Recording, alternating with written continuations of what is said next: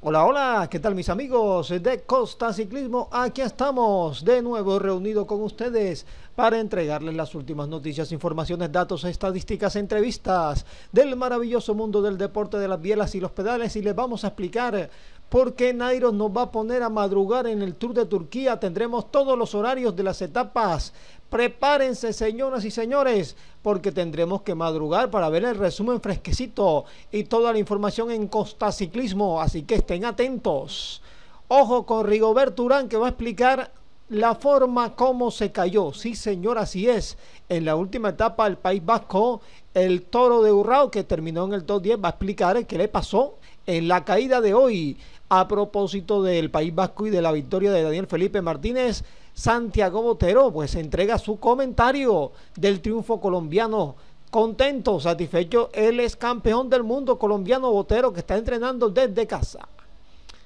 Y bien, mis amigos de Cotaciclismo, ya activamos la función de miembros del canal, así que únete a nosotros, dale like al vídeo, suscríbete y activa la campanita. Señoras y señores, este domingo comienza el Tour de Turquía desde bien temprano. Nos pone a madrugar Nairo Quintana. Aquí le vamos a reseñar todas las etapas de esta hermosa competencia. La primera etapa termina alrededor de las 5 y 45, 6 y 10 de la mañana.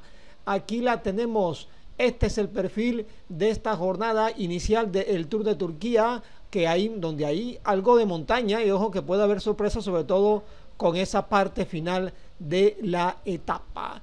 Atención, tendremos la segunda jornada que termina entre 6 y 10 y 6 y 45 de la mañana.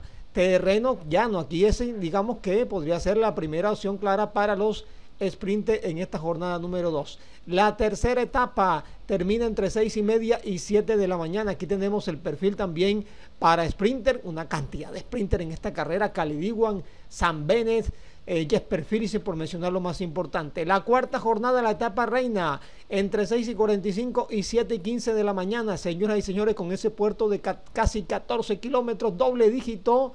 Uy, qué montañota la que tendremos en la definición del Tour de Turquía. Aquí el que gane y tome diferencia va a ganar la carrera.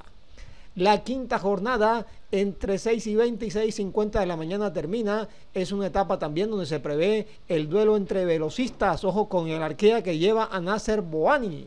La sexta etapa termina entre las 6 y las 6 y 30 de la mañana. Esto será el día viernes una etapa que termina en alto. Los últimos 4 kilómetros serán de ascenso, aunque los últimos 500 serán de una de, una, de un muro bastante duro y pronunciado. La séptima etapa el sábado termina entre 6 y media y 6 y 50 de la mañana.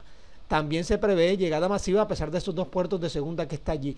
Y la última el domingo termina tempranito entre 3 y 40 y 4 y 10 de la madrugada para ver la consagración de Nairo Quintana. Podría ser, tenemos que madrugar, señoras y señores, en esta etapa que será un circuito en Istambul.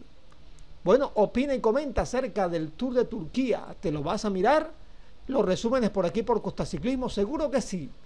Porque ahora vamos a escuchar la explicación de Rigoberto Urán, el toro de Urrao, que tuvo una magnífica presentación durante la edición 2022 de la Vuelta al País Vasco, la Isulia Señoras y señores, Rigo aguantó lluvia, aguantó frío, algo de nieve también y se metió en el top 10 de la carrera. Lamentablemente hoy el toro de Urrao besó el pavimento porque cuando los dos chicos del Movistar, los dos ciclistas Henry Mas em, y Nelson Oliveira se cayeron en el descenso, Rigo venía detrás y dijo que desafortunadamente pues también cayó no le pasó nada, eso sí, no, no hubo golpes, no hubo nada grave, pero le impidió llegar o estar con el grupo de punta y así mejorar su clasificación en la general. De todas maneras, terminó décimo, ¿ah? gran jornada de Rigo, de menos a más. Un poco de suerte, afortunadamente nos caímos ahí con... Todas son oportunidades, ¿cierto? Estamos en el grupo adelante y, bueno, hay una caída de los de Movistar y no, no tengo manera de esquivar la bicicleta y y bueno, me voy al suelo, pero no me pasó nada. Se pierde, digamos, la, la oportunidad de ya estar, ya estábamos adelante con el grupo de los favoritos. Y bueno, es lo que hay, hay que seguir intentando, se sigue trabajando. Eh, yo siempre he dicho, hay que tener piernas, pero también hay que contar con un poco de suerte para, para estas carreras. Y hoy pues no tuvimos tanta suerte, pues, tanta suerte, y suerte y no, porque nos caímos no nos pasó nada, pero se pierde la oportunidad de, de eso, de, poder intentar ir a disputar la etapa.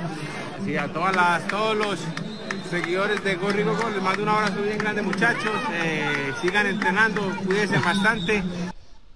Bueno, muy bien. Y aquí tenemos ya la parte final a Santiago Botero dando su opinión, su concepto de la victoria de Dani Martínez. Prácticamente narra todo. Santiago que estaba entrenando allí. Vemos cómo le corren las gotas de sudor por su rostro al ex campeón del mundo comentando lo de Daniel Martínez en la victoria hoy de la vuelta al País Vasco. Vamos a escuchar al detalle todo lo que dijo Santi Botero. Vuelta a País Vasco. Ya, mija, ya. Está buenísimo. Daniel Felipe iba perdiendo la rueda de los de punta en una bajada por caída. Y bajando junto a Remco volvió a llegarles. A Bilbao y compañía. Ahora queda el último puerto. Arrate. Se puede ganar su segunda carrera en World Tour. Cabeza fría. El hombre lee como pocos la competencia. Ánimo, Felipe. Y ahí la tenés.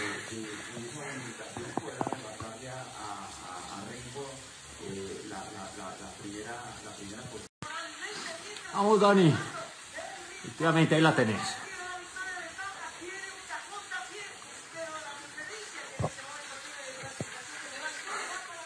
Vamos, Dani.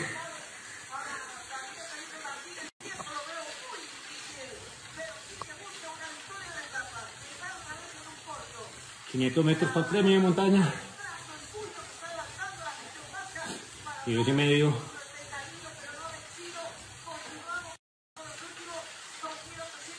Granitos y bajando.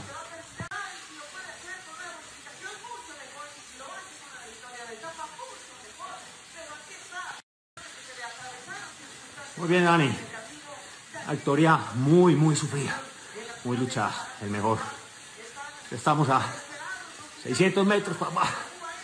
Acá se pone adelante por Molo.